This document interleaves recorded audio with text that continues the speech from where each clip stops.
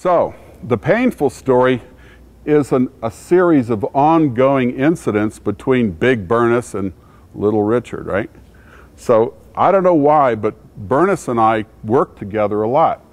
I mean, I did chores for him. My oldest brother was gone. I guess I was like the oldest kid. And uh, had to milk the cow in the morning or the night whenever Bernice did the opposites because the the milk cow had to be milked twice a day, fed the chickens and all that kind of stuff. Uh, he took me around on my paper route every Sunday morning because my papers were too big. The Washington Star was that thick. And, um, and every Saturday night, he, he ran the teen club for the, the county recreation center, for which he got $10. And he built himself a wood shop with that money. So we worked together a lot. So when I was a freshman in college, I bought a Vespa motor scooter, and he was dying to try it.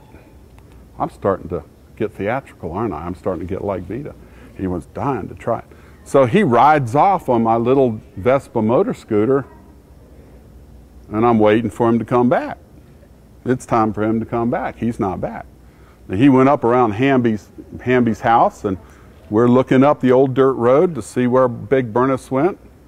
He's nowhere to be found. Half hour later, he comes back pushing the motor scooter. He had fallen off, and he had a whole pocket full of old TV tubes in his pocket, and they were all smashed. He kept saying, I'm sorry, I'm sorry, I'll get it fixed, because he dented my thing. He, he fell, yeah, he fell down. You know, so that's, that's one, right? So uh, he's digging a well. Now, you know the walkers. They're doing all the work themselves. There's always sweat equity, right? So they built a new house in 52, but they didn't have a well for it because he'd already done that well over there and it was too far to pump water. So he's digging a well. He's three or four well rings down, and you know they're three foot high. He, you dig a hole and you sink the well ring down. You dig a little farther down, you put another well ring on. It all sinks down. You keep digging it out. Well, he was three of them down. That's nine feet. Well, old Richard's up top with the hoist with a big steel bucket. And Dad's filling up the big steel bucket. Haul it up, dump it out. One more time, haul it up, dump it out. Well, you know me, I'm slow, right? So I'm not paying attention. I, I tried to hook the bucket back on the rope and I dropped it.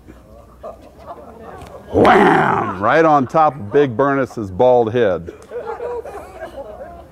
And I said, I'm sorry. so that's two. So uh, back, at, back in those days, you had a question? Who turned the tractor over? Did Bernice turn it over, or was that Jim? Uh, I must have been Jim because I don't know about that one.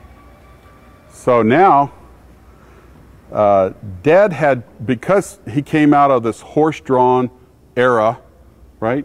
Uh, and the way to inexpensively get farm tools was to take an old horse drawn uh, sickle bar mower or a hay rake or disc or something like that. He, he, would, um, he would take a horse drawn device, take the tree out of it, put a tongue on it. I would be the operator. I would pull it up and down, and he would drive the tractor, right? So we were a, a team again.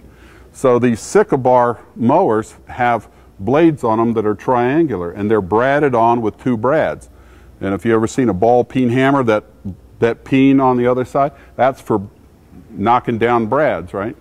So dad has got one of these things, and I'm holding it for him. He's going bang, kabang, kabang, like that.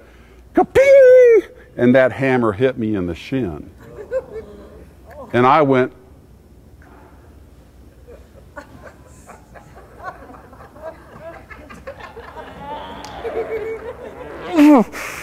and he said, I'm sorry. I'm sorry. I'm sorry. it's the most I'm sorry's ever got out of my dad. but it hurt so bad I couldn't talk.